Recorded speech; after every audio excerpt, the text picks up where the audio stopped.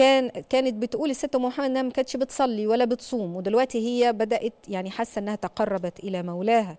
جل جلال الله وبتقول إنها عايزة بقى تقضي الأيام اللي فاتتها مع الاثنين والخميس والأيام القمرية في الأشهر المباركة كالأشهر الحرم يعني إنها تأخذ ثواب أكثر على ذلك. وبالنسبة للصلاة هنجاوبك. يجوز إن أنا أجمع؟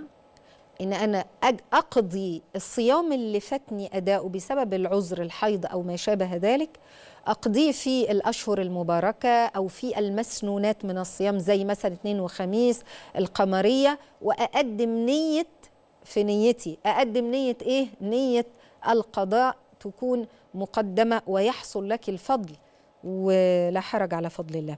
بالنسبة لمسألة الصلاة بدل ما اقعد اصلي ركعتين وما اصلي من اللي عليا. هقول أنا مثلا فاتني عشر سنوات احسب كده واعد الصلوات تقريبيا واصلي. حتى طب أنا مش متذكرة على وجه الدقة اقضي لغاية ما احس ان أنا قمت بالقضاء. فتقضي حتى يغلب على ظنك انك قمت بقضاء الصلاة اللي فاتتك لأن ده دين في الذمة.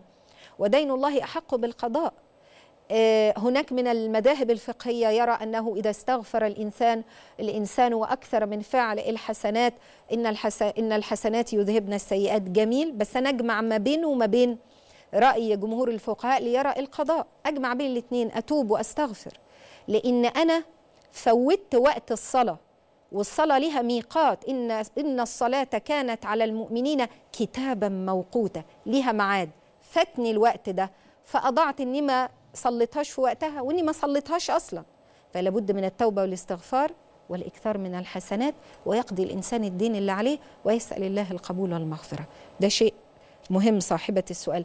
أنا بعد صلاة العصر وعلي الدين ده وعايزة وكانتني فرصة إن أنا أقضي. ده أنت عندك سبب لهذه الصلاة وهي قضاء ما فاتك اداؤه في وقت. فيجوز لك الصلاة قضاء مما هو عليك. صاحبة السؤال.